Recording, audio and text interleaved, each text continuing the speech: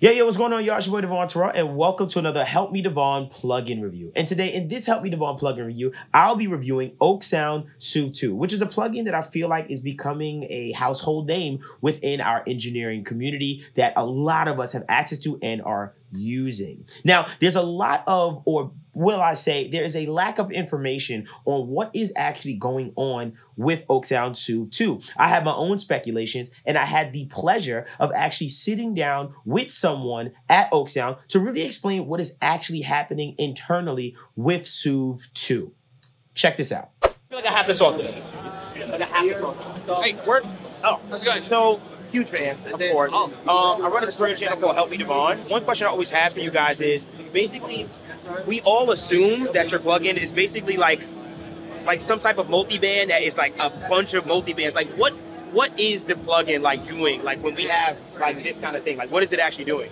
Um, so you can actually split up the process into two parts. Uh-huh. You have the and you have the uh, analysis. Right. So when it an- analyzes the signal, and then you have the processing. Okay. And uh, yeah, one good one thing to notice is that you said multiband. There's no bands involved in what Gotcha. it's doing. Right. So it's using FFT, so fast Fourier transform Okay. uh, technology to analyze the signal, uh, and then that's when. That's where it notices these oscillations, so these resonances Right. on that side, Right. uh, and uh, targets them, and then it starts to suppress them. Right. And that's on. Then we go, go over to the processing side, Right. which is when you start suppressing Right. whatever that analysis uh, has found. Gotcha. In a way. So then, so Soothe, when you have it on a track, it's constantly analyzing the signal. Yeah, right. It's not. It's, it's not there. Kind of like you're not telling it to find more. Right. It's, it's already found everything. Right. So what you're doing with the processing is just telling it to how much you want it to process. Right. But yeah, so those are uh, completely separate, uh, separate uh, things. Right. The analysis and the processing. Gotcha. Wow. Okay, That's great. cool. Because that, we've always assumed that it was always like, like we always go to just multi-band, like Yeah, and thinking that it's just compressing every nuance. But you, you explaining that it's actually analyzing the entire signal and then just taking it from there is makes it a lot of sense. But Wow. huge fans of your plugin, man. Uh, love it to death, and thank you. Yeah. Yeah. Thank you. Thank you so much for coming by. So all this time, I thought that Soothe 2 was really this uh, this mess of multi-band compressors uh, that they figured out how to create. You know, uh, for the most part, not such a heavy CPU usage, and it was just basically a threshold kind of. Uh, multi-band compressor kind of thing going on, and I'm super wrong. What he's saying is it's actually just detecting resonance. So it's literally analyzing every sound uniquely as it comes in and it's finding resonances in each uh in the entire spectrum of the sound and just attacking those resonances uh, or waiting for the information from you to basically say what do you want me to do with this? So there's two sides. There's the detection or the analysis side which is basically looking at the entire sound and saying, here's all the resonances in this sound. And then there's the actual processing side, which is when you're attenuating those sounds and stuff like that. So let's do a deep dive with this new information that we have about it and see if this helps you understand Soothe 2 even better or for you to pick it up for yourself finally. Let's check it out. Okay, so right now I have it in flat start. Uh, I'll play you the vocal that I'm going to use. It's one of my own songs. Listen closely to the vocal. Oh, baby, I'ma pray for you, pray for you, pray for you, pray for you. Mm-hmm. Cause I'm not the one that you should be talking to. So I hear some sibilance, I hear a little bit of harshness, I hear a few things, obviously, that I know for sure Soothe 2 can really, really attack and help me out with. So let's get right to it. So what I'll do is I'll go knob for knob. So before I even do that, let me just put on some of the processing and let you get an idea of what it sounds like when it is actually active. So check this out. I'm gonna move this depth knob, which this depth knob is basically telling the plugin how much processing you actually want. So remember, when it comes to Soothe 2, it's detecting resonance and it's basically attenuating that resonance or cutting that resonance. Basically, it's bringing that resonance down, which always made me think it was a multiband, but it's not. We know this now. So let's find those resonances and let's bring some of those resonance frequencies down. Oh, baby, I'ma pray for you, pray for you, pray for you, pray for you. Mm-hmm. Cause I'm not the one that you should be talking to. So right there off rip, I could tell that it got rid of some of those S's and T's. It even got rid of some of that uh, more boxy frequency and stuff like that on the bottom hand. This is just me doing it really quick just to show you, and then I'm gonna get more in depth with the plugin. So basically, let's go for the knobs. With the depth knob, like I told you, this is saying how much processing do you want me to um, uh, attack the signal or how much processing do you want in the signal? Let me do a hard right and let me do a hard left and you can get an idea of what this depth knob is actually doing. So hard left first and then I'll gradually go up. Oh, baby, I'ma pray for you, pray for you, pray for you, pray for you. Mm-hmm. Cause I'm not the one that you should be talking to. Cause I'm no good, I'm impatient. I'm the type of So basically you can hear when I have it cranked fully to the right, it is doing a lot of processing and cutting. When I have it to the left, it's doing less or none as far as processing to the signal. Got it? Simple enough. Next thing I want you guys to look at is this right here, soft and hard. The soft preset basically uh, has a different algorithm from the hard. The soft sounds more transparent. As you can see, you can even read there, it tells you, has, uh, it just sounds a lot more transparent. It sounds smoother. It actually sounds a little bit more natural to me.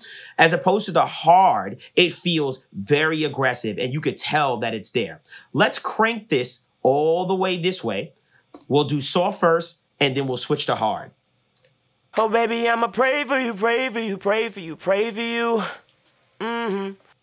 Cause I'm not the one that you should be talking to. Now, if you have ears, you heard that difference. Obviously, when it's on soft, it's softer. It's less processing. And when it's on hard, it is extreme. It is a lot more uh, going on as opposed to soft. Super self-explanatory. I think you can kind of get the idea of it.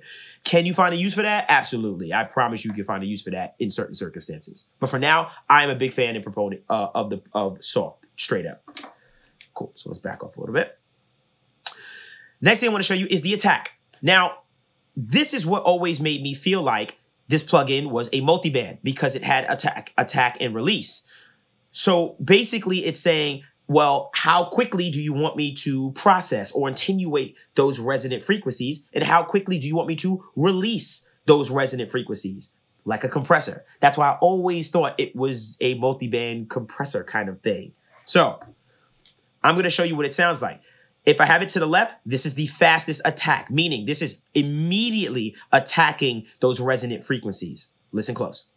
Oh, baby, I'ma pray for you, pray for you, pray for you, pray for you. Mm-hmm. Cause I'm not the one that you should be talking to. Cause I'm no good, I'm impatient. I'm the type of that's bad with relationships. So, like a compressor, when you are attacking those transients really quickly, you're really taking those transients away, and basically it's sounding softer because you're attacking those transients really fast, as opposed to slowing down the release and letting a little bit of that kind of punch through. So it's the same kind of concept when it comes to uh, attacking those resonant frequencies. A faster attack will attack the resonant frequencies or processing faster. A slower attack will allow some of that transient information to cut through. You saw I found a little sweet spot, like right there is enough where it's getting some of those transient information, but at the same time, it's letting enough through that still feels uh, uh, really nice on my ears and stuff like that. There you go.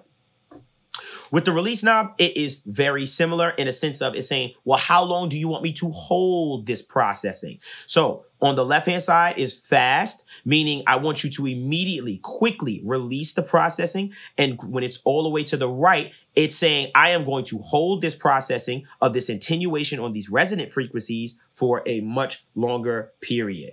So let's go to fast first and then transition to slow. Oh, baby, I'ma pray for you, pray for you, pray for you, pray for you. Mm-hmm. Cause I'm not the one that you should be talking to. Cause I'm no good, I'm impatient. I'm so when you listen to that, you notice that the dynamics is uh very drastically changed. What do I mean when I say dynamics? I'm saying the difference between the quietest sound and the loudest sound isn't much if you're holding the compression. Basically, you're creating like this, excuse me, it's not a compressor. Basically, you're holding that process process of it holding it down. So it's flattening basically the difference between quiet and loud. It's making it like this. I'm just going to stay right here as opposed to giving you some dynamics, which this is what you want. You want a nice difference between that quiet and that loud. Only reason is because it just sounds more musical. It sounds more dynamic. It's more pleasing to your ear in a lot of circumstances. Sometimes that might not be what you're going for, but if you do a slower release, you're going to hold the processing longer. If you do a faster release, it's going to release that processing a lot quicker. Cool. The next thing I'm going to show you is I'm going to show you the sharpness. Now, sharpness is pretty, pretty cut and dry. Basically, I want you to think of sharpness like a Q control, which they even put here. And when I say Q control, I'm saying it like a band the Q on a band. So you know how you have a multi-band compressor. Once again, this is why I always thought it was a multi-band, where you say, okay, I'm at 300 hertz right here. And you say, hmm, this is 300 hertz. I'm being real surgical. Let's open the Q up. Now I'm kind of affecting 200 hertz and I'm affecting 600 hertz because I'm opening up the Q. So that's basically what this uh, sharpness knob is doing. It's saying, well, how much around me do you want me to affect? The more narrow it is, it's like, okay, I'm going to try to focus in on that that that center frequency that you have me at as opposed to what's around me on that frequency spectrum. Let me show you what I mean. So let's turn the sharpness all the way down and then I'll crank it up and you'll see that the bands or excuse me, the resonance that it's attacking gets narrower and narrower as I make it to the right. Oh, baby, I'ma pray for you, pray for you, pray for you, pray for you. Mm-hmm. Cause I'm not the one that you should be talking to.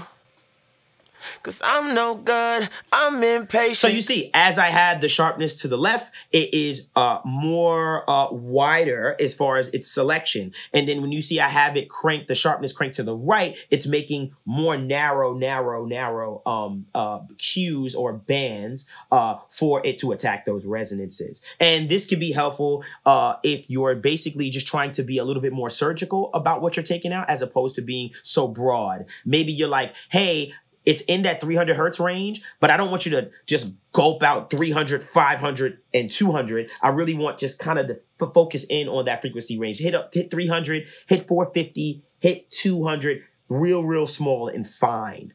Style, this is a style choice. This is something that you can kind of experiment with and figure out for yourself, but at least you know what it's actually doing.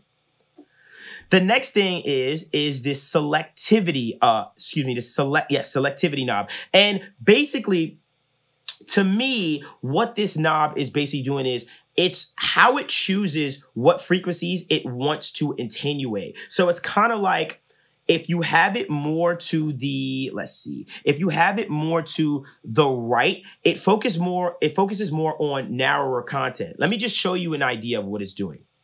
Oh baby i'ma pray for you pray for you pray for you pray for you. Mm-hmm. Cause i'm not the one that you should be talking to Cause I'm no good, I'm impatient. So even when I have it or when I have it cranked to the right, you're seeing it's doing less. It's kind of focusing on more narrower information. It's kind of picking and choosing its its resonant frequencies that it wants to attenuate and it's much much smaller finer uh selections as opposed to when i put it to the left it's basically doing more broader uh sweeps as far as what it's selecting for the frequency. Don't get too tied up on it. Find your spot that feels good and go with it. But at least you kind of understand or know a little bit what it's doing. Okay. The very last thing that i really want to show you and I'll just run through two things right quick that is kind of self-explanatory. If you want a higher quality sound out of this plugin, you can go to oversampling and crank it, and you can go to resolution and crank it. If you don't understand what that does as far as oversampling and resolution, I really recommend you just do a little deep dive on the internet to get a better idea. For right now, I just want to focus on the other stuff in this plugin because we can get really deep on oversampling and resolution. Just know the higher those things are, the higher quality of, of a sound you're gonna have. Some people will argue with me with that, but just know that's that's what that is basically doing. It can put a crap load of CPU usage on you. So I don't I don't recommend you just doing that out of the blue. Experiment with that a little bit before you dive into it. Do some reading, do some research. Okay. We have the mix knob, which I just want you to understand that this is allowing you to say, hey, what is my balance of the original with the wet or the process sound. So you can back off on how much of this processing you have within what you created. Then the trim knob is basically saying turn it up or turn it down. Because obviously, if you're cutting frequencies, you may feel like you lost a little bit of volume in your sound. So you may want to bring that back up. That's what that trim knob is going to allow you to do. All right. This is probably the most important thing, and I think the most overlooked thing and the most confusing thing that people are encounter within Soothe 2. And it's these little bubbles or dots right here. Kind of looks like an EQ. In a nutshell, what these little dots are doing, when you turn them or push them up, you're increasing the sensitivity of that specific region. What I'm saying is this it's already doing processing as it's flat, as you see. It's already, it's flat. Look at it again. It's flat. It's already doing processing if I turn up the depth knob. But if I take one of the dots and I crank it up, now it's going to add more processing and it's going to be more sensitive to this region. Let me show you what I mean. Pay attention to the S's and T's, and which we all know or we should know is in like that four kilohertz, five kilohertz range with sibilants. Watch this. Oh, baby, I'ma pray for you, pray for you, pray for you, pray for you. Mm-hmm. Cause I'm not the one that you should be talking to. Cause I'm no good, I'm impatient. I'm the type of that's bad with relationships. One false move and I'm out this.